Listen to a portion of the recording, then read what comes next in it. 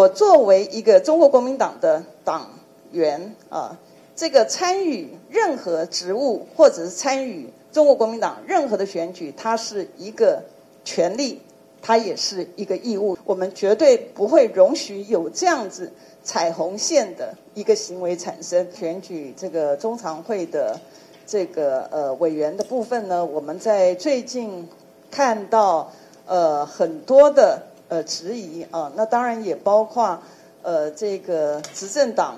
的委员所提出来的零零总总的质疑。其实这些事情呢，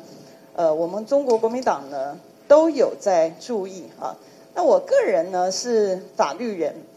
所以呢，对于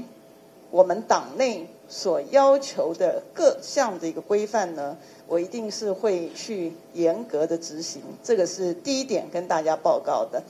第二点呢，我要提到的就是，其实中国国民党在今天，我们是一个在野党，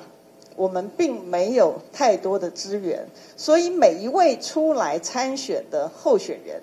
他都是抱持着一个承担责任这样子的一个态度，并没有什么利益。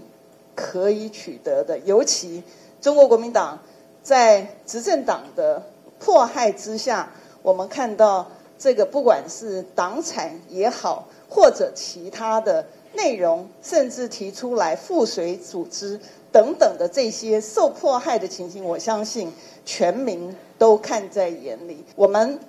作为一个端正的一个参选人，中国国民党作为一个正派的一个政党。我们绝对不会容许有这样子踩红线的一个行为产生。我对中国国民党有期望，